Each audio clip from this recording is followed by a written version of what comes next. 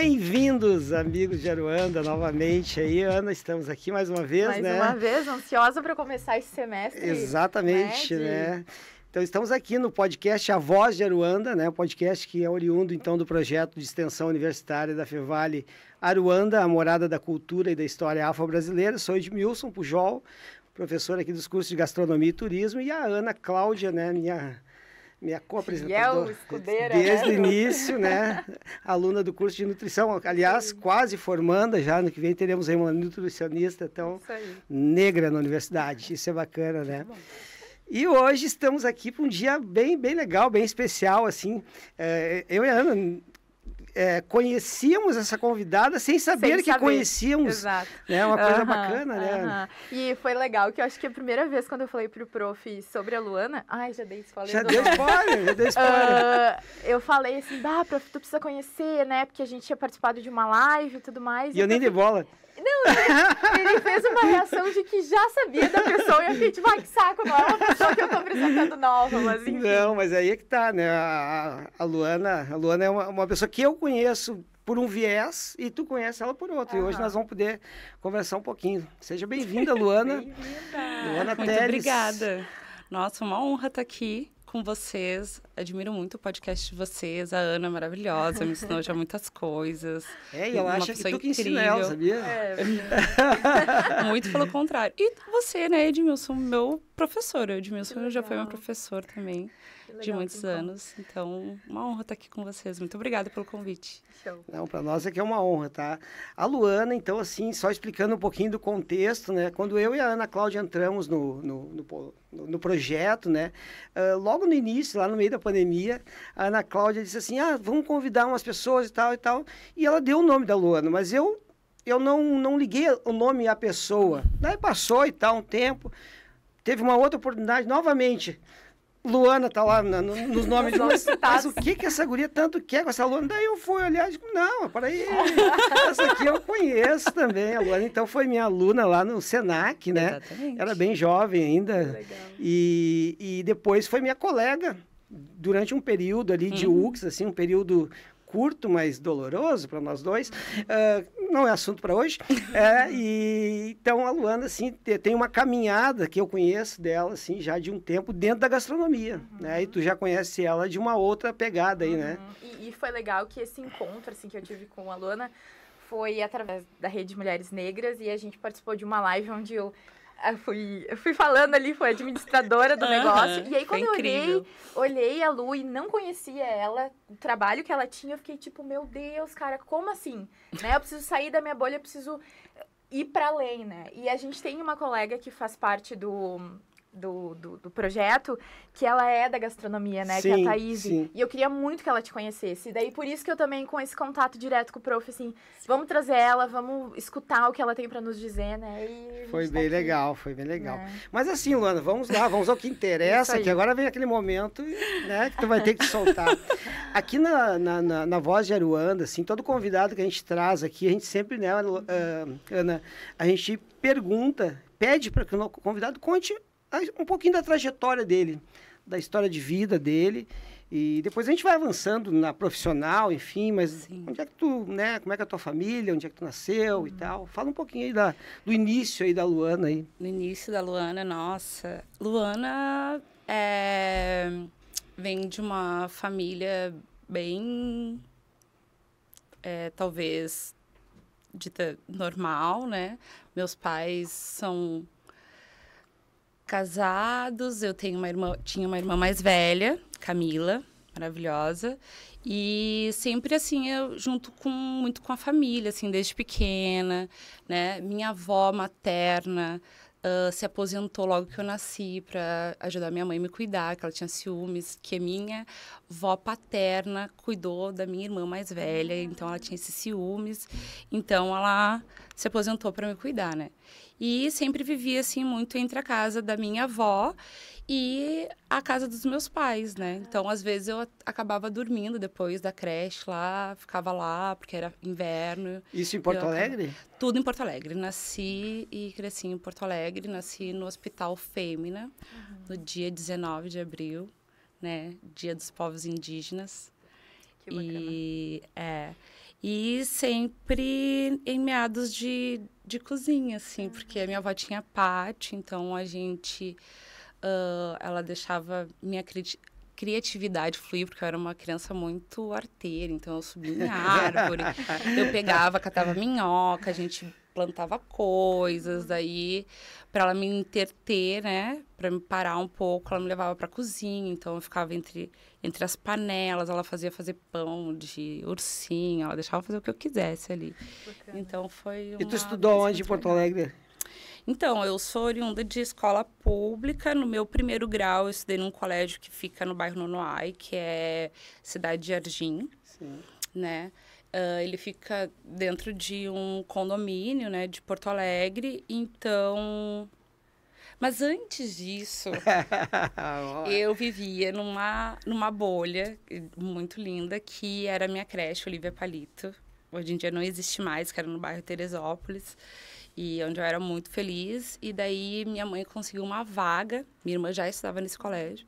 Daí ela disse, não, tem que aproveitar. Então, me colocou lá na... Uh, na Jardim B, um pouco antes da, da primeira série, assim, uhum. agora eu não vou ter certeza, né? Uhum. E daí eu fui pra lá, e daí a minha bolha meio que rompeu, assim. Rompeu. É. Era um colégio, apesar de ser público, ele era um colégio muito branco por estar ali dentro daquele. Uhum. E poucas pessoas negras, uhum. assim, né? Uhum. E no meu segundo grau, eu fiz uh, Ernesto Dornelles, Sim. né? Uhum. Porque eu já sabia que eu queria trabalhar com cozinha e todo mundo disse: Bom, se quer trabalhar com cozinha, então tu vai ser nutricionista. né? E eu, ok, eu vou ser nutricionista. E daí, tipo, lá pelos meus 10 anos, nutricionista. E daí fui fazer o técnico uh, de nutrição para ver se era aquilo mesmo que eu queria fazer. E porque eu tinha medo, né, de começar a entrar num curso, depois no outro. E fiz um semestre e eu. Não não era não. aquilo. Não é o que eu quero, não é a nutrição ah. que eu quero. E daí meu pai disse, então. Daí eu disse, vou fazer, eu quero ser cozinheira mesmo. Uhum. Meu pai, meu pai é engenheiro.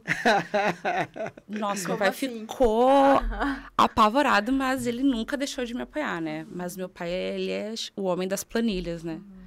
Aí eu sempre conto que naquele dia que eu falei que eu ia ser cozinheira, ele disse que tá, tudo bem, eu ia ele já abriu um outro viés, tipo assim, tinha que cuidar da aposentadoria dele, da minha mãe, e mais um dinheiro para me sustentar, sustentar, porque ele Não achou ia... que, tipo, cozinheira, sim, sim. eu ia acabar, né, precisando dele, da ajuda dele financeira pro resto da vida, assim, uhum. essa é a ideia que meu pai tinha, mas em nenhum momento ele podou, de certa forma, meus sonhos, sim. né.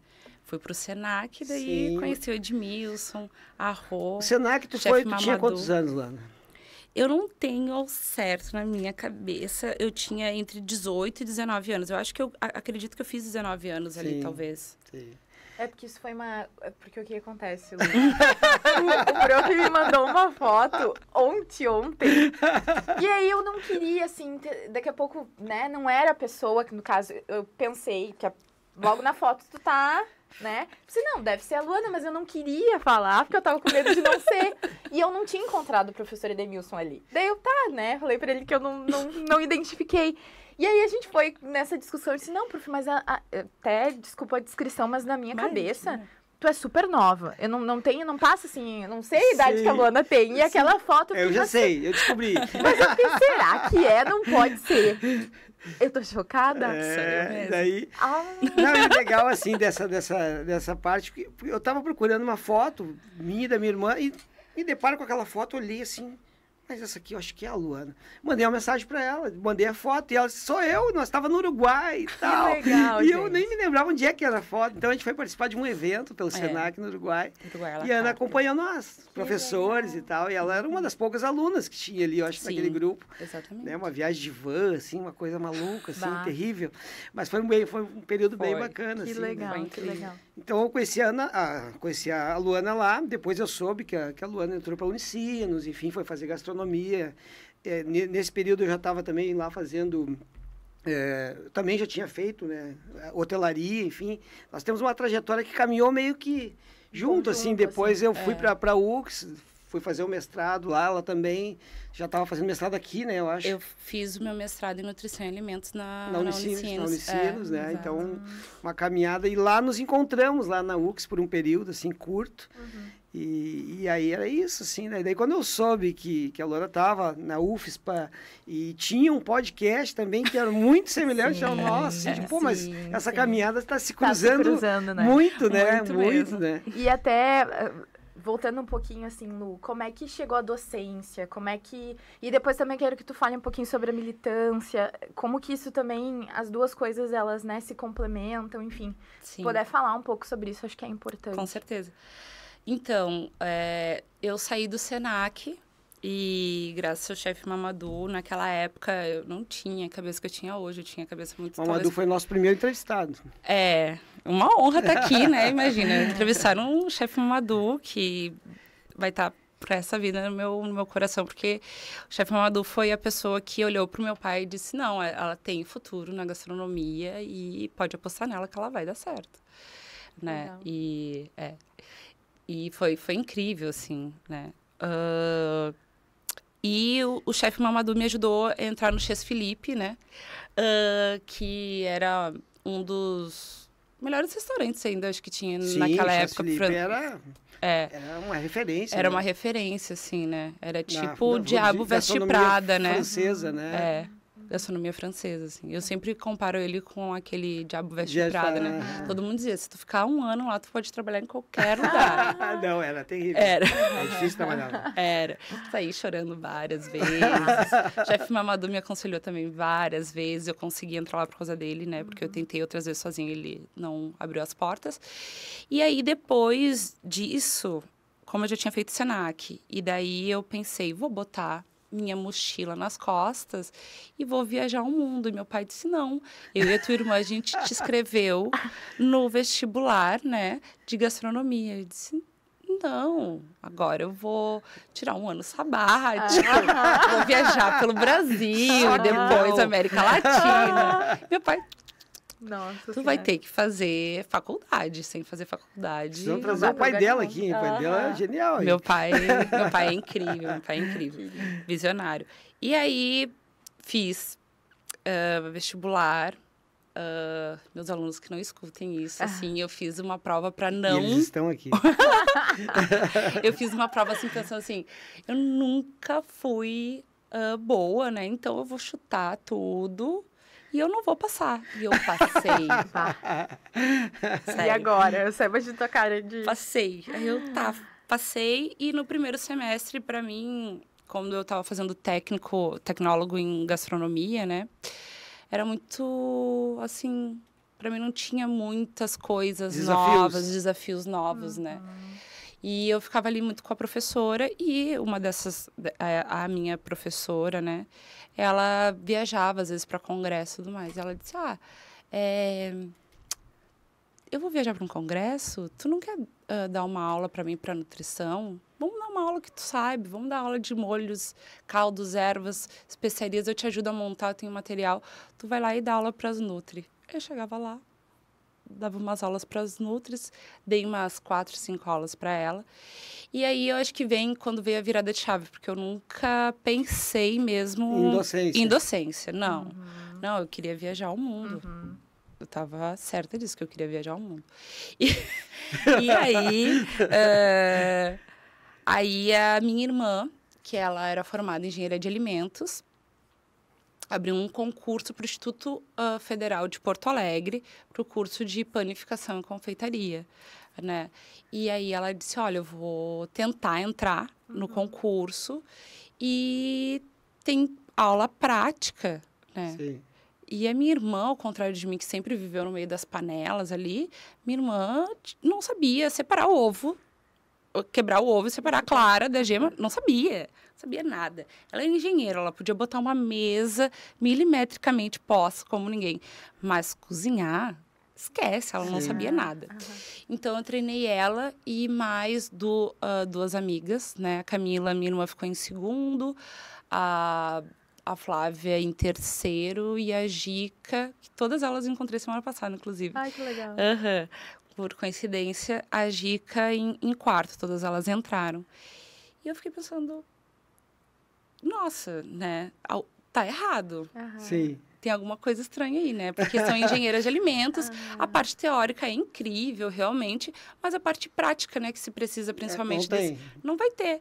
E daí aí que eu comecei a não, peraí, Uhum. acho que eu vou entrar nessa nessa cena, né? Uhum. E daí aí que eu comecei a trilhar a questão da, da docência, assim. Uhum, Que eu perfeito. comecei a ir mais pro lado da docência. Perfeito. E agora, falando um pouco sobre a militância, assim, Lu, eh, como eu comentei no início, acho que te encontrar, né, foi um, assim, divisor de águas também, porque era isso. Hoje aqui na Universidade Fevale, a gente se encontrou como Aruanda, mas eu buscava muitas referências fora também, né? Tanto que eu acho que a pessoa que eu sou, pensando no meu profissional, eu devo muito à rede, eu devo muito a outras pessoas que estão ali fora da universidade, mas que dão esse apoio, né? E eu acredito que durante a tua caminhada também, não sei se isso aconteceu, ou se daqui a pouco tu teve um pontapé de opa, estou dentro da UFSPA, estou encontrando outros alunos que são negros, a gente precisa se aquilombar de alguma forma. Como é que foi isso também, assim? É... Enfim, assim, eu- agora eu, eu pensei quando ah, tu falou que a UX não foi, fo- foi um processo delicado, né? Eu já estava na UX há algum tempo, né? Ela, E- ela chegou dois anos frente, antes de mim Isso, lá. dois é. anos antes, né? E a gente teve E- uma passagem É, dura, né, Dura. por lá, assim, em todos os sentidos passando. Eu passei muito, já comentei isso em, Sim, algum, sim. em algumas situações, né? E a Luana não foi diferente. Né? Isso não é coincidência, né? É, Hum, por até uma coisa que é legal de falar, assim, que é, a maior parte dos convidados que a gente trouxe aqui até hoje, né, normalmente são pessoas é, que vieram de origem muito humilde. uhum, E, e não é o caso da Luana. E Não. mesmo assim, ela passou pelos mesmos perrengues. Uhum. Por quê? Porque né, chega um momento que tu começa a ver os olhares, tu vê a fala, tu vê a forma de tratar, né? Total. Então, Sim. e, e lá foi meio que Foi. Eu tava, eu tava, sei lá, fi- finalizando o segundo semestre do mestrado e a minha professora disse: "Olha, tem uma vaga para dar aula na UX, um dia antes do casamento da minha irmã, que eu tava preparando todo o coquetel, que foi na Serra". Aí ela disse: "Mas tem que ser agora". Daí eu fui. E no começo foi tudo tranquilo, assim, né? Mas eu, uma mulher negra, né? E eles começaram a sabotar as minhas aulas para ver se eu, tipo, desistia, assim, né? Ai, não, tu não pediu isso na lista de compras, daí não tinha, daí faltava. Mas para mim, a que mais me marcou, assim, foi uma aula de desossa de aves, né? Que a metade dos frangos estavam podres, assim. Nossa senhora. Tipo, eles literalmente estragado. Eu abri os frangos, uma coisa horrorosa. Eu disse, meu Deus, que... e eu muito nova ainda, né? Sim. O que Sim, eu vou fazer com os alunos? É, ah, sem experiência nenhuma, assim, nas primeiras turmas, eu disse, meu Deus, como é que eu vou fazer aula agora com frango podre? Enfim, né? E eles botavam tudo a culpa em mim, assim, não, tu mandou descongelar não sei o quê, eles... Meu Deus. Aham, e mandavam e-mail e tal. e, enfim, daí ah, fui demitida, pensei em entrar judicialmente, mas, mais uma vez, meu pai, ele disse assim, olha, tu tá no setor ah, privado, né? Isso aí vai acabar te fechando portas e eu realmente, né? o pai É verdade. sábio. É. E naquele momento também eu não tinha talvez toda a consciência racial que eu tenho hoje. Eu, eu preferi também não, né? E é claro que a gente sempre vai tentando, assim. Sempre me, me incomodou, por exemplo, não ter tido aula de cozinha africana, afro-brasileira, quando se entrava em Brasil, né? Eu comentei com o Edmilson, né? Tive professores que falavam que usar pimentão verde era uma coisa de selvagem, entende? Era é, umas coisas assim, porque É. dentro da gastronomia, né? Tudo vem da Europa, França, e nada de se falar, né? Mas aí entrando um pouco mais dentro da militância, assim, eu acho que quando eu pude pensar agora, é um pouco do momento, realmente tem a ver com aqueles meninos ali, Que com estão certeza. hoje aí. Exatamente. Eu entro no meu meu concurso na UFSPA final de 2017, né? Ah, eu assumi o cargo. E a primeira coisa que me disseram que tinha uma aluna problema. disseram assim, olha, tem uma aluna problema, a gente já tentou de tudo com ela e a gente acha que só tu vai poder resolver o caso dela. Primeiro momento eu pensei, bom, já sabem da minha trajetória, porque eu fui coordenadora de um curso uh, em Lages, né, na Serra Catarinense, né, e lá eu passei por diversas Sim. situações, não de questões sociais, mas com alunos, assim, né? E de eu conseguir resolver. E eu pensei, bom, eu acho que é isso, né? Deve ter a ver com isso. Mas quando me apresentaram a aluna, eu entendi, né? Que era uma aluna negra, né? Que fazia questionamentos super coerentes. Sim. Né? Mas que não agradava. Que não agradava, porque ela estava ali questionando, que ela estava ali dizendo, olha, por que que... Será que isso aqui vem realmente da Itália? Será que isso aqui é realmente da França? Porque, olha, eu estudo, eu estou vendo, isso aqui vem de África, né? E eu acho que essa aluna pegou e, e meio que me despertou. Essa mesma aluna fazia parte do coletivo Raça, e eu acho que em algum momento, eu não me lembro direito, talvez eles possam lembrar, assim, Uh, ela comentou em alguma reunião do que o coletivo fazia uhum. que a coordenadora do curso, porque em pouco tempo eu já virei coordenadora, que a coordenadora do curso era uma mulher negra, né? E aí eu acho que acho que foi no meio disso tudo que daí eu também me aproximei mais dos alunos, uhum. né? E a gente se se reconheceu, assim, até eu tô olhando para eles porque talvez eu tô pode ser minha percepção, assim, eu tô tentando lembrar. E aí na U, na UFSPA que eu pensei que eu estava numa universidade federal, pensei, bom, aqui eu tô. Aqui, não, não, é né? chão, né? O aqui chão do... uhum. é, eu vou encontrar alunos, uhum. né? Então vai ser aqui. Foi totalmente ao contrário, né? Tem pouquíssimos. Tipo, tem pouquíssimos, né? Dentro desses meus 10 anos de docência, eu acho que eu dei aula para sete alunos. Dentro Nossa. desses sete alunos, é, quatro são na UFSPA. É, mas a explicação é simples, né? Da dificuldade que é para chegar, né? Uhum. a gente sabe dessa dificuldade, a gente teve aí a conversa com muitos né, convidados, né? E o problema é chegar até lá. Com certeza. É muito difícil, né? Então... Por isso que não tem, né? Aqui nós achávamos que também não tinha não, no início exato. e hoje a gente está descobrindo, assim, né? Os alunos têm nos procurado, graças Sim. a Deus, né? Uhum. Mudou essa, essa dinâmica. Então, nós tínhamos duas alunas só que eu arrumei lá no começo, que foi a Ana e a Thaís. E hoje nós temos dez, né? Então, nove são negros. Sim. E de todos os cursos possíveis, né? Isso é bacana, mas é, a gente sabe o quanto é difícil numa, numa universidade é, é, federal, né? Passar. É. Né? E ter... que vem da medicina, né? Antiga escola de medicina. Sim. Então, ali é extremamente embranquecida, assim. E... Olha, também passei por casos bem interessantes, assim. Né? E conta pra, pra gente um pouquinho desse teu projeto lá do do podcast. Do podcast, como é que é? surgiu a ideia? Ai. Não foi inspirado na Luanda? Ah.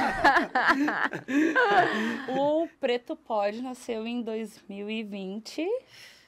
Foi começo da pandemia, né? Porque aí eu tinha já, a gente já tinha, eu já tinha muito contato com o Carlos e com a Júlia. Uhum. Porque a gente fez o primeiro novembro negro, né? Carlos. É, o Carlos pode confirmar depois, assim. Talvez eu fale alguma coisa errada. E aí, uh, a Júlia, eu falava muito, porque a Júlia, ela é da farmácia e ela que me ajuda a comprar minhas bases, porque eu não tenho noção nenhuma de cor e tal. A Júlia, é, a gente fazia essa, essa conversa.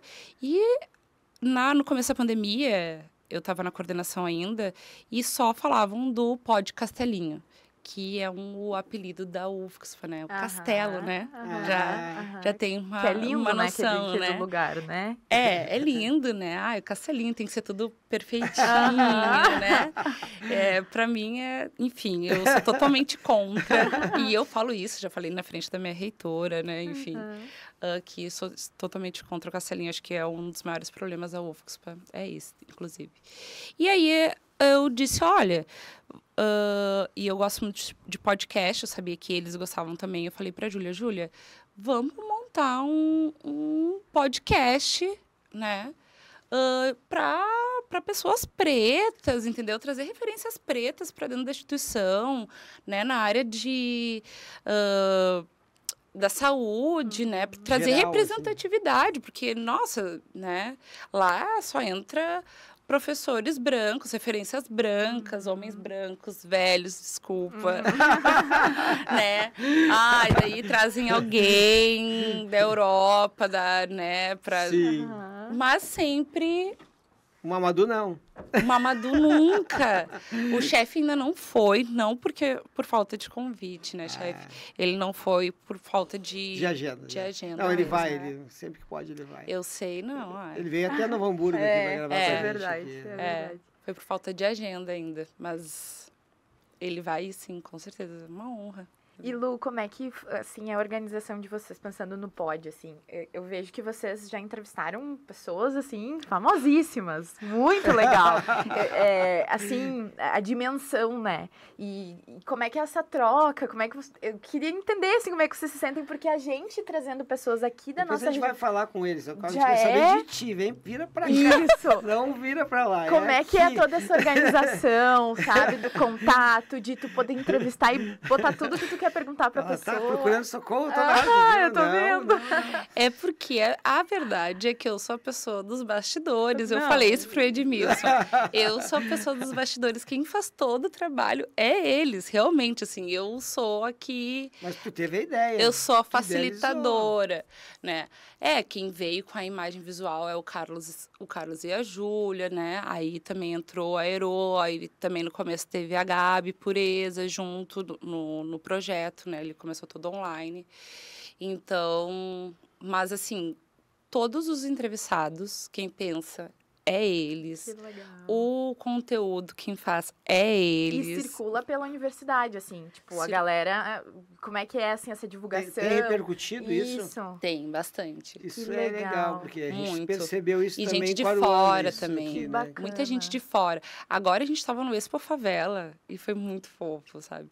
Algumas pessoas chegaram neles, olha, eu acompanho vocês no podcast, vamos tirar uma massa, foto? que massa. Que legal, show, que legal. gente. Eu nunca fui reconhecido na rua.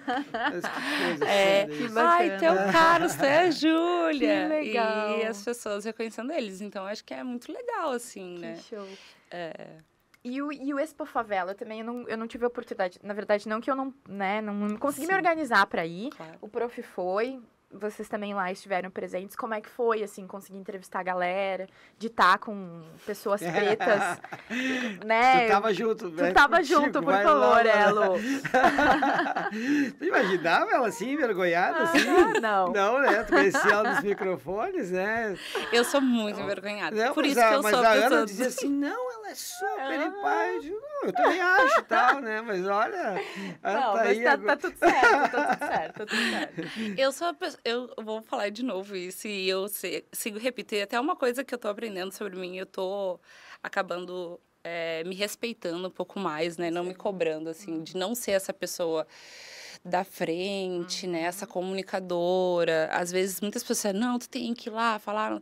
Eu, eu gosto de organizar, eu gosto de estar atrás. Eu sou aquela que, se eles precisarem de um tripé, eu vou sair correndo, vou ver com alguém, vou resolver.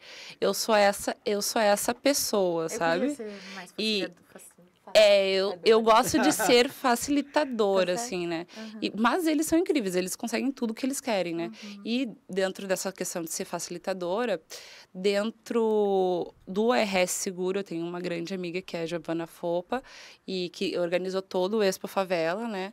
E que daí ela já conhecia o Preto Pod, né? E ela disse, olha, tem tudo a ver, vocês irem com um crachá de imprensa e tentarem gravar. Então, assim, ela foi uma facilitadora, né? Eles diziam, ah, a gente quer entrevistar tal pessoa. Eu falava, Gi, tem como? Gi, ah, peraí que eu vou trazer. Ah, vamos gravar ali, enfim, né? Eles gravaram...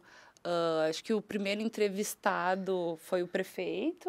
Legal. Aí depois entrevistaram o Preto Zezé, né? Que é o presidente nacional da CUFA, se não me engano. E ah, daí agora só o Carlos zerou um para falar, bem, né? bem tranquilo, assim, né? Não, não tinha uma, uma burocracia muito grande para chegar nas pessoas, Não, né? não A gente já tinha. participou Legal. de eventos que era mais complicado, assim, que não conseguia chegar, né? Eu Uhum. fui lá, falei com o Mark Bicker, a gente já conhecia ele e tal. Uhum. E falei com outras pessoas bem de Todo- boa, assim. é, sabe? todo mundo Bem- super acessível. Pessoal super É, de eu achei. E eu acho que é um pouco também disso, né? Pensando que é Expo Favela, onde a gente vai encontrar mais dos nossos, eu acho que a gente também tem que parar de separar essa coisa de aquela pessoa.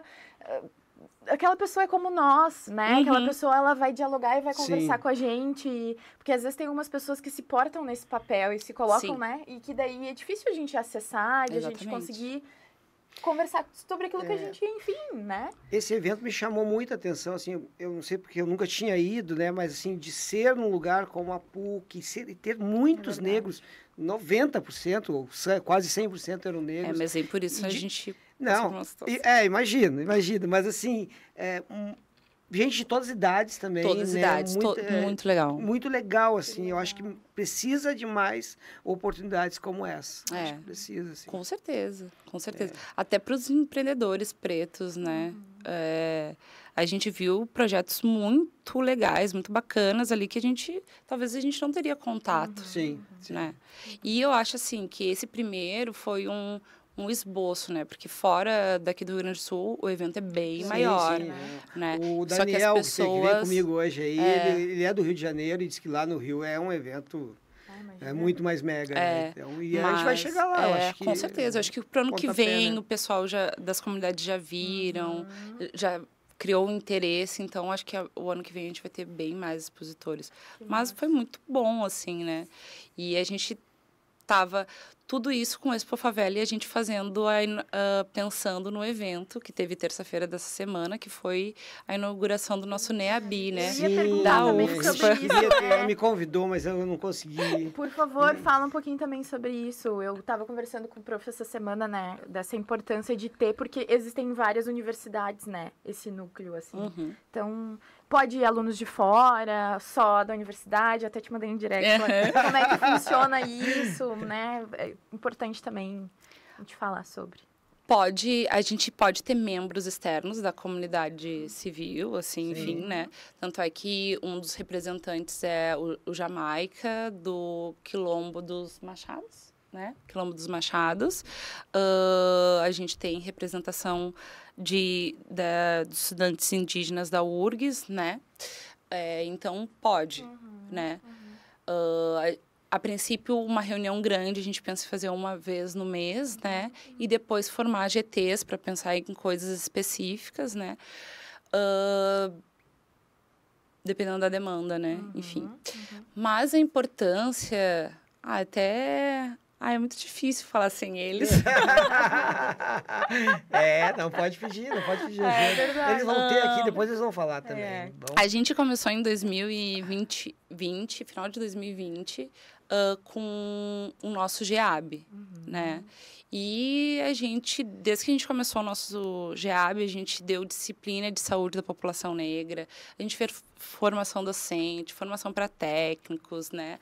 Aulas eletivas, várias aulas, né? E também isso ajudou muito, talvez, eu acredito que os alunos ah, se reconhecerem dentro da instituição. Olha, o que eu, o que eu penso faz parte, a minha vida faz parte daqui, né?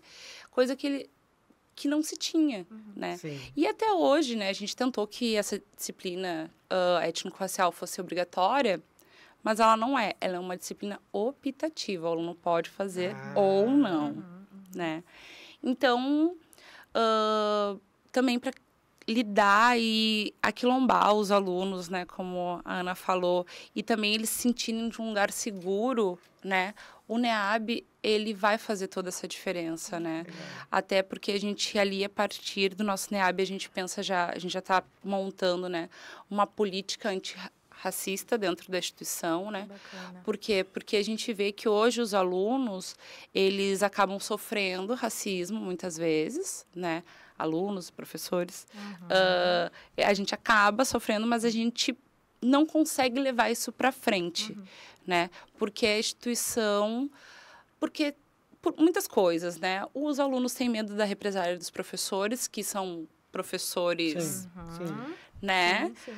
Ah, e então acabam dizendo, olha, a gente só está falando porque eu quero ah, abrir meu coração para alguém, mas eu não vou denunciar, né? E a gente tem que achar mecanismos ah, de forma que a instituição faça a denúncia pelo aluno. A instituição tem que se colocar Proteger. à frente que o proteger, aluno, Uhum. né? Dever dela. para o aluno conseguir se manifestar, né? Porque não é nenhum nem outro caso, né? E assim, foi várias reuniões com a reitoria, uma disputa bem grande para a gente conseguir esse NEAB. Uhum. E, e, e aí a gente conseguiu, assim, né? Que bom, a, que a bom. Forpes. que legal que bacana. isso. E, e é só tu de prof negra na instituição? Ou N- tem outros professores? Não, atualmente somos é, três professoras negras, um professor negro e eu acho que três se autodeclaram pardos. Uhum. É, dá menos de 2% hoje Sim. do, do quadro, né? De quase 368 professores, eu acho que é o Nossa. FUXPA tem hoje Muita gente. né? É, Uhum. mas assim, quase 50% professores da medicina, né? Sim, Que é Sim, o que é o forte dele. é, que é o curso principal, Uhum, assim, né? Perfeito. Mas hoje em dia a gente tem 16 cursos, né? E eu participo da, do ingresso de cotas, né, da heteroidentificação desde o seu começo, desde 2018, eu participo com os alunos, né, na comissão de heteroidentificação, que é uma coisa muito importante. Mas eu acho que a gente ah, já está no momento que a gente tem que pensar além disso, né? Porque, tá, tudo bem, a gente deu acesso. Ai, eles acham, ai, mas eles estão entrando aqui. Não, não é verdade. E a permanência, né? Como é que a gente vai fazer? Então, tudo isso acho que o NEAB vem para colaborar, né? Olha, tem que ter ahn, cotas nos editais para bolsista PID, tem que ter cotas para os editais de ah, extensão, né? A gente tem que pensar como é que a gente vai fazer esse aluno co- continuar É, é o essa desafio. caminhada. Esse é muito desafiador, né? E fora a questão parte psicológica, né?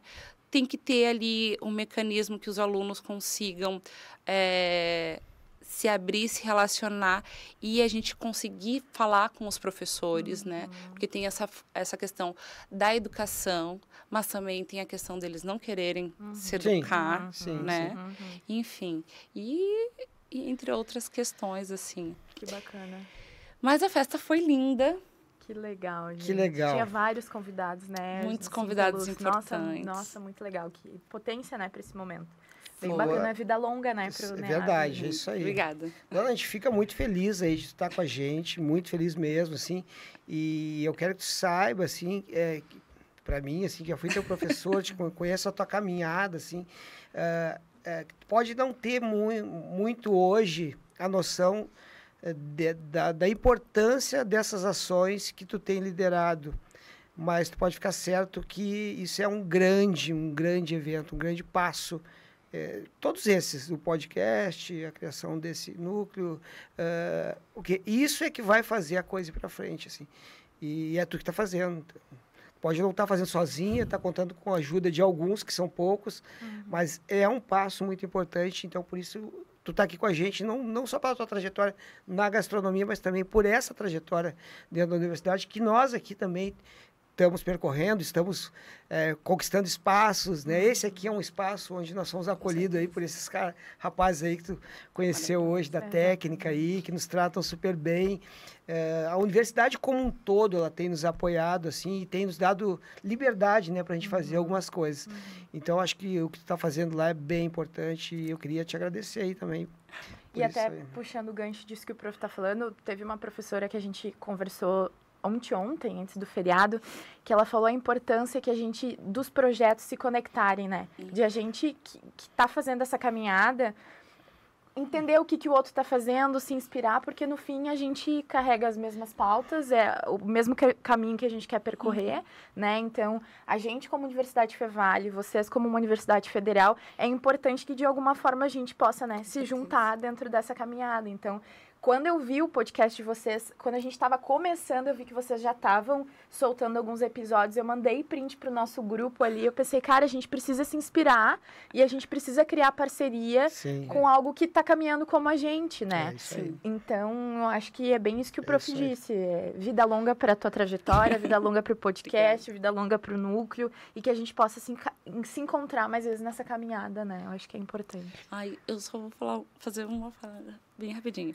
Eu esqueci de falar do Raça nas Escolas, que atualmente é o Raça nas Comunidades, né? Que foi um convite que eu recebi dos alunos do coletivo, né, de ser professora orientadora desse projeto de extensão, que ele visa ir até as escolas, né, falar como se acessa a universidade pública, falar sobre a UFSPA, né? E foi uma iniciativa deles, foi um presente que eles me deu e daí eles me deram, né? Então, eu acho que desde aí a- atualmente tem o Matemazie, que é um grupo de estudos, né? Eles ficam junto num projeto guarda-chuva Sancofa, que o Preto Pode estava até o ano passado. Esse Que ano a legal. gente tirou eles, mas a gente continua também trabalhando em conjunto. E eu acho que é, acho que é esses projetos que a gente tem. acho que que sim. massa, acho que que sim. massa. Mas é isso aí. Vamos, vamos, vamos conversar com eles um pouquinho, né? Também. Então tá, vamos Então terminar tá. o primeiro bloco. Isso. Ó, agora a gente tá chique. Primeiro bloco com Luana e o próximo bloco vão ser com teus alunos maravilhosos. incríveis, Que eu tô vocês- ansiosa pra conversar com eles. Eles hablam de verdade, Ai, como eles adoro, falam. eu adoro. É, eu sou mais quietinha, mas eles falam mesmo. Galera, segundo bloco, a gente tá muito chique, né? Muito chique, muito muito chique. chique. Pela primeira vez, né? Exatamente. E aí, pela primeira vez, não poderia ser diferente, que é com os alunos da Luana, né? E eu queria que vocês se apresentassem antes de tudo, que eu tô muito empolgada para conhecer vocês e escutar a história, O enfim. nome. O nome, nome, idade, curso. Por favor, de onde vieram? Contem um pouquinho pra gente atualizar os nossos ouvintes. Quer começar, amigo? Pode começar. Tá. Meu nome é Eronice, mas sou mais conhecida como Ero, Ero Souza. Tenho 25 anos e faço física médica. Bah. Que legal. física. É difícil, é difícil. Bah. Tu é de Porto Alegre? Sou de Porto Alegre, Certo. mas minha família, uma parte de Camacuã e outra de Porto Alegre. Legal. Então, eu sou o Carlos, eu tenho 23 anos, eu faço medicina na que e sou moradora do bairro Restinga e sou de Porto Alegre também desde, desde que eu nasci. Então, que legal. inclusive, eu vi a prof falando, a gente nasceu no mesmo hospital. Amei. Que legal, Que legal, cara. Adorei. No Fêmea. Cara, eu né? só, eu só conheci um médico negro até hoje. Olha aí, ó. Que assim, que eu fui atendido, né? Sim. Que massa. Que coisa legal, E cara. física médica também. O que que é? Se É, complementam as. Sim, trabalham bastante juntos. É a parte de diagnóstico por imagem. Ah, Então, tem- na verdade, a física médica tem três áreas: a medicina nuclear, radiodiagnóstico e radioterapia. Radioterapia, acho que a maioria conhece pela quimioterapia. Então, trabalha com pacientes com tumores, cânceres e também com a questão do diagnóstico por imagem, que é a parte de radiação. Então, o físico médico tem es- essa responsabilidade, não só na área hospitalar, mas em várias áreas. Tanto na perícia e tudo mais. Sim, Sim, sim. 23. E 25. 25. E como é que foi, gente, assim, a, a caminhada de vocês, vestibular, né? Vocês, como é que foi para chegar na UFSPA? Como é que foi a caminhada para esse curso física médica? Porque, Porque é escolha, né? exato, Sim. né? Um Então, pouquinho. eu sempre estudei na escola pública, fiz acho que só um ano, dois anos numa escola particular e depois sempre fiquei na e sempre gostei de matemática. Minha família é só da área de matemática. Meu avô é engenheiro, meu pai é tecnólogo de ai, tecnólogo, agora esqueci a Mas é da parte matemática, sempre foi da área exatas assim. E a minha mãe gostava de matemática, mas quis ser professora, mas não entrou na área também de exatas, mas só é professora do, das os anos iniciais, assim. E, e agora só numa fase que está um pouco diferente, que a minha irmã foi para dança. É a única que foi para esse Então, o lado. teu caminho foi meio que um caminho natural, assim. Sempre né? natural, porque o meu, eu fiquei, eu sempre fui criada pelos meus avós e meu avô sempre teve essa questão, vamos sent- vai ter a hora do estudo, depois a hora da televisão. E aí sempre eu gostei da parte de matemática, sempre mesmo.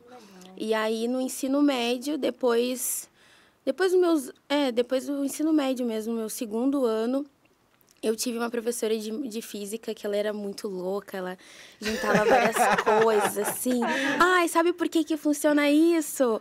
Ai, por causa da física. E aí isso sempre me chamou muita atenção. E eu sempre gostei muito das estrelas. Então, se- e aí Como é eu, legal ter um professor assim de referência, né? e eu sempre tive os. Eu, eu achava que eu ia ser astronauta. sempre achei. Ainda acho que eu vou fazer um. Eu ainda acho que eu vou fazer um projeto pra NASA. Eu ainda acho. Porque a NASA agora contratou um físico médico, então. Eu vou, posso ser a próxima. Que massa. E aí, depois disso, eu sempre já sabia o vestibular, mas não, no primeiro ano eu não passei na URGS, eu queria estudar na URGS. E aí, sempre eu via a UFSPA como uma faculdade que eu nunca iria conseguir entrar. E aí, no meu segundo ano, eu fiz vestibular por dois anos. Passei, no meu segundo ano, eu fiz no, num cursinho privado. Meus pais me deram essa oportunidade de estudar. Ah, e aí eu fiz achando, nossa, agora eu vou conseguir passar e não passei. E aí eu não queria desistiu. fazer física, mas meus pa- meu pai falou assim: ah, mas tu vai fazer física por quê? Tu vai ser professora de física? E aí eu falei, tá, tudo bem, então eu vou fazer uma engenharia física, então. aham. Aí fal- faltou acho que 10 pontos para me passar na URGS. Aí mesmo assim eu falei, tá, mas então eu vou continuar no cursinho, fiz o cursinho. Aí passei, comecei a passar em várias faculdades. Passei na, passei na UFRJ para física, passei na Unicinos. Aí na Unicinos eu tinha ah, nota para física, mas depois eu pensei, tá, se eu não conseguir passar direto, eu vou tentar história, porque aí depois eu estudo história da física. Ai, Aí acabei passando, acabei, passei na Unicinos para História. E aí depois eu sabia que pelo ProUni eu conseguia trocar de curso e tudo mais. Aí acabei passando na URGS e, tam, e também passei na, U- na UFSPA. Só que como eu entrei na UFSPA foi meio complicado, assim, porque eu não tinha visto que eu tinha passado. E eu já tinha feito, já tinha feito a minha matrícula na, na Unicinos. Putz. E também passei na, na UFEPEL. Olha. Aí meu pai falou assim, tá, mas a UFPEL a gente... Sim. Eu tenho... Não dá. Não dá. Não dá. É. E a UFRJ também. Minha mãe, ai, não, muito caro. E aí eu falei, ai, até porque eu não ia estudar se fosse pro Rio. aí tinha mais isso. Já mais- Aí depois, aí do nada eu já tava já no meu primeiro mês. Aí meu pai falou assim, tá. Aí minha mãe, ai, só. Minha mãe, eu lembro até hoje que minha mãe ligou pro meu pai e tava no Viva Voz. Ela disse, ai, não conta. Mas a, a Ironice passou na, na UFSPA. E aí eu já tava, já tava gritando, já não queria saber de nada, assim. E aí eu passei, mas assim, foi, foi do nada, assim, não tinha visto a lista do SISU, até porque tem mais isso que a UFSPA é um pouco complicada, assim, de ter esse acesso. Tu tem, ela tem a divulgação principal e depois as outras listas de espera são mais no office, assim, tem que estar sempre ali. Tem que estar ligado. Tem que estar estar ligado. E eu não tava ligada, porque eu já pensei, bom, passei na, Uni, na Unicinos, então tá tudo Então tá certo. certo. Eu queria entrar numa universidade e entrei. Legal. Mas as minhas colocações também sempre foram muito boas. E o que, me, o que levantava mesmo a minha nota sempre foi a matemática. A matemática e a física. Nossa, É. me passa. e agora tu, E cara. tu, cara, Ai, conta eu- a tua história, eu tô Eu curiosíssimo. também. Hum, é uma história, assim, bem confusa também, tá? Porque sempre fui estudante de escola pública desde o fundamental, né? Eu fui criado também pelos meus avós, assim. Ah, não tive a figura paterna em casa, mas tinha minha mãe, tinha minha avó e meu avô. E ninguém nunca tinha entrado na universidade também. Então, a minha avó sempre tinha muito aquela coisa do estudo também. Tipo assim, não, vai estudar, vai estudar, é isso aí. Aí eu tinha, eu sempre tive em casa, assim, muito estimulado desde cedo. A leitura, a escrita, a pintura. Tanto é que, assim, eu comecei a ler, eu aprendi a ler em casa. Assim, Sim. na- eu tava no jardim, no jardim, tinha o jardim A, jardim B, e aí de- eu já saí do jardim lendo e escrevendo. E aí eu entrei na primeira série, fiquei 15 dias, a professora falou, olha, não, ele já, já tá Já- tá adiantado. Só que não queriam me passar porque achavam que eu tava, era muito infantil para uma segunda série, Sim. mas já tinha todo o conteúdo da primeira. Aí, no fim, me passaram, fui pra segunda série. Então foi desse jeito. E aí no fundamental eu conheci uma professora de biologia, que era muito legal as aulas dela, assim. Mais um eh, que foi marcado por um exato. professor, que legal, né? e aí as aulas de biologia tinham coisas de saúde. Aí eu ficava assim, tá, eu gosto disso, tô gostando disso. Então, eu até tenho fotos, assim, de maquetes de saúde ou de teatro que eu Legal. fazia. E aí eu sempre fui curtindo essa área. Mas sempre gostei de muita coisa. Esse era minha, minha- meu conflito, assim. Porque daí na escola eu fazia teatro, aí eu fazia dança, aí eu fazia monitoria, aí eu fazia educação ambiental. Sim. Eu queria fazer tudo. E aí, em algum momento, eu fiquei confuso. Tipo, o que que eu vou que fazer? O que que eu vou fazer? Aí no ensino médio, eu né, falei, não, vou fazer medicina, eu acho que é isso aí. Ah, vou estudar para isso, né? Daí, só que eu, tinha, eu já tinha alguns colegas meus, eu saí da Restinga e fui pro centro para estudar, né? O ensino médio. Queria fazer no centro. E aí tinha vários colegas meus que faziam um cursinho também. E aí eu via que eles ficavam muito apreensivos, assim, estudavam muito, e aí tinha aquela pressão da prova e tudo mais. E a minha avó até falou, tu quer fazer um cursinho, acho que a gente consegue te Tu colocar. não fez cursinho? Não, eu falei assim, não, não Tu vou fazer. passou sem fazer cursinho. Sim. Eu falei assim, não vou fazer cursinho, porque vai que eu não passo, eu depois eu vou ficar me culpando porque eu, não, porque eu fiz o cursinho e não passei. Falei assim, não vou fazer cursinho, não vou fazer nada. Vou estudar com o que eu tenho aqui de conteúdo. Aí eu fazia um estágio de manhã, aí no estágio era bem tranquilinho na prefeitura. Aí ficava estudando no estágio. Tranquilo pra ele, né? Era um setor super tranquilo na prefeitura, eu ficava estudando. Aí ia pra escola, eu estudava, estudava um pouco, pegava aquele conteúdo do Enem. Falei, ah, eu vou fazer a prova ah, pra teste. Que eu não sabia como é que ia ser. Eu já tinha feito um teste, fui ok. No terceiro ano do ensino médio, eu falei, vou fazer outro pra teste. Aí eu fiz a lá, fiz a prova. Era uma nota ok, que eu podia passar em algumas outras universidades, mas não era o suficiente para o que eu queria. Sim. Aí eu falei, tá. Coloquei lista de espera. Aí eu passei ah, pra cinema na, na Ritter, naquela bolsa do Prone. Fiquei em primeiro lugar. Eu pensei em fazer, falei, não. Vou esperar um Vou pouquinho. esperar. Aí inscrevi no listão, na, na, na lista, aquela segunda Da chamada. segunda chamada. E também não cuidei, porque eu achei que não ia acontecer. porque na, na modalidade de cota que eu coloquei, tinham acho que 12 na minha frente de quatro vagas. Eu pensei, bom, não vai ser hoje. E aí, não olhei o listão. segui- Aí eu comecei a estudar em casa pro, pro Enem do outro ano, vestibular. E aí uma amiga me ligou um dia, desesperada, disse assim, Carlos, o teu nome tá na lista. Eu assim, não, não pode ser, não tem como.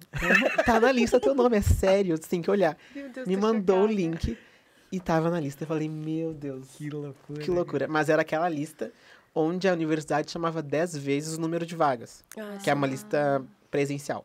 Sim. Então, tinha, sei lá, quatro vagas, aí chamavam 10 vezes esse número. Sim. Tu tinha que ir lá na universidade pra dizer, não, eu Quero quero, fazer. quero, continuar aqui. Sim. Aí Ah, cheguei lá, gente. o auditório lotado. E eu falei, bom, não, Não adiantou vai- pra nada, né? Só que eu não me dei conta que eram todos os cursos da universidade.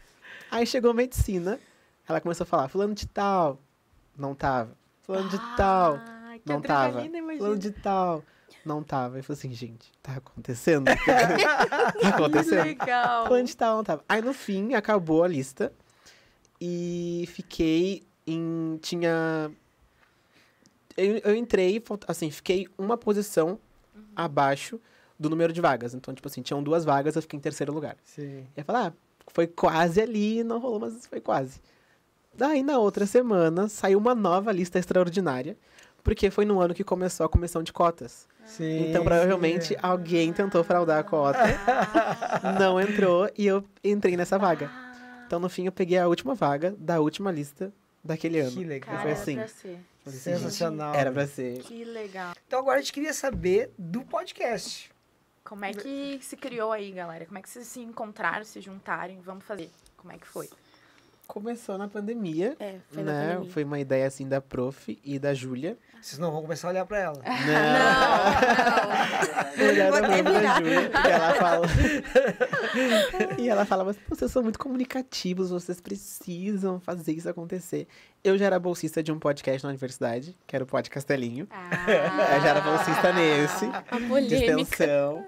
E eu gostava muito de participar do projeto, mas ele era muito quadrado. Sim. Então, assim, era legal de desenvolver a pauta e tal. Uhum. Mas eu pensava assim, será que as pessoas escutam de verdade? Uhum. Será quem escuta isso, né? Porque era muito quadrado o projeto. Apesar de ser muito legal, era muito quadrado. Então não, não era muito a minha cara, assim.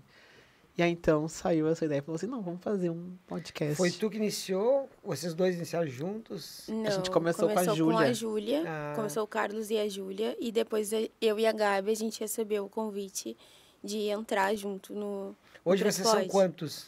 Somos três. Quatro. São Somos. É, três. Tem uma pessoa que fica ainda... É, que fica mais. Stand-by. Stand-by, É, exatamente.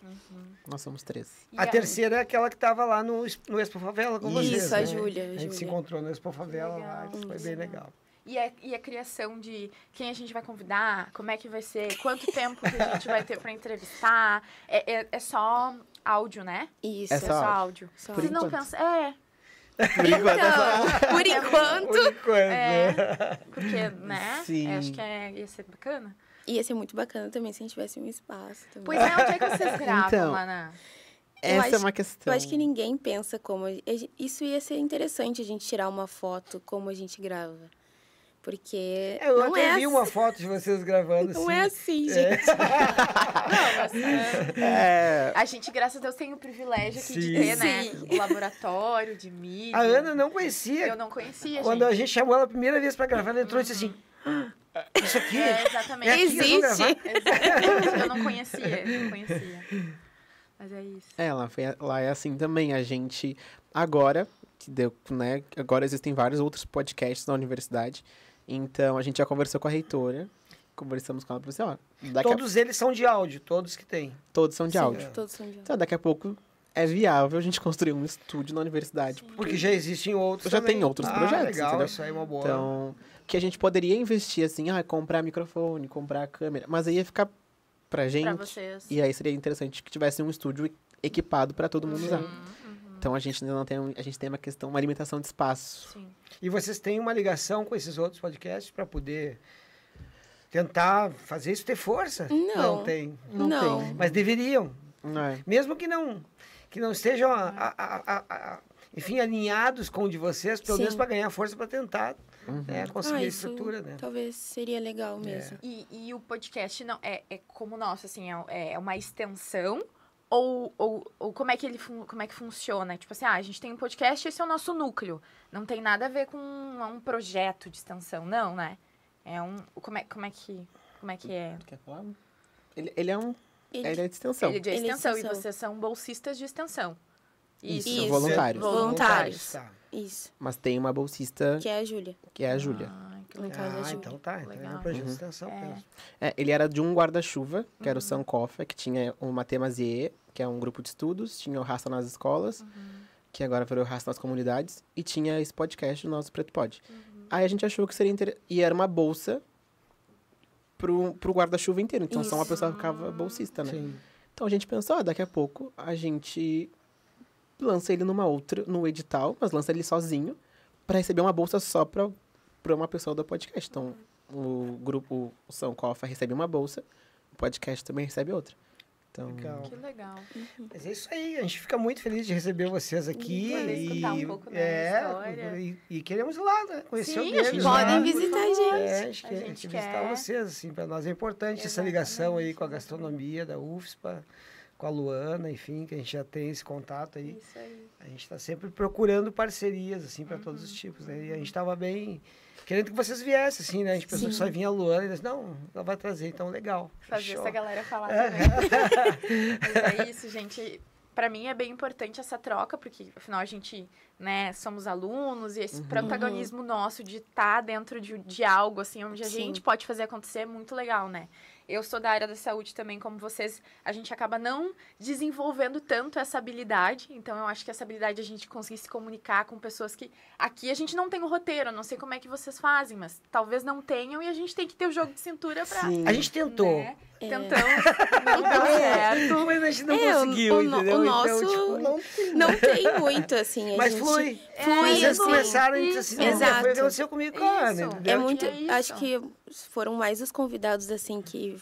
Mais. Um pouco mais importantes, assim, que teve um roteiro, mas a gente também não seguia o roteiro. É, a gente Era um só uma- na que hora legal. que fluir, É assim. isso, gente, é isso. Estamos muito felizes de receber vocês Muito aqui, felizes. tá? A gente Voltem também. sempre. Isso e é isso aí. estamos sempre né? Né, com as portas abertas aí. Isso aí. A gente Muito podia obrigada. chamar a Luana para fazer um Pra encerramento, encerramento, aqui, né? né? Muito obrigada, tá, gente, pela participação de vocês. Arrasaram. A gente que agradece. Então, pessoal, chegamos a mais um final de um episódio muito legal aqui, né, Ana? Hum, nossa, foi Nosso incrível. nono episódio, né, com esse grupo maravilhoso da Luana e os seus alunos lá da UFSPA. Estamos massa. muito felizes aqui com a presença de vocês e vai ser bem importante esse podcast pra gente, assim, porque é uma união entre dois podcasts que têm a mesma finalidade, digamos assim, que é dar protagonismo, eh, o protagonismo a pessoas negras, né? Então, acho que isso é bem importante, né, Ana? Hum, e, e eu acho que escutar também um pouco da história dos três, Dos mas três. também escutar a- a- a- os colegas, né, que a gente tá tão próximos aí, a gente tem também se inspirar de alguma forma, encontrar vocês também foi muito importante, trazer vocês pra cá também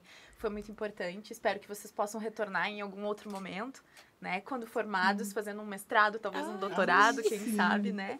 Então, É isso também aí. agradecer a Lu por todo o carisma, por todo o cuidado com as palavras, sabe, que é uma pessoa que me inspira, muito feliz de poder te ver pessoalmente pela Sim. primeira vez, então isso é muito legal. Mas eu vou, eu vou confessar aqui que nós conversamos, eu e a Luana, e eu disse pra ela, "Ah, a Ana te admira assim demais, assim. E ela disse, não, mas eu é que admiro ela, e eu disse, eu legal, também. Que legal. Eu também admiro a Ana, porque a Ana realmente me muito. ensinou muita coisa, assim. Com A Ana me fez ver um lado que eu não, não percebia, assim. Mesmo tendo uma caminhada bem grande, aí, a Ana me ensinou muita coisa com essa idade.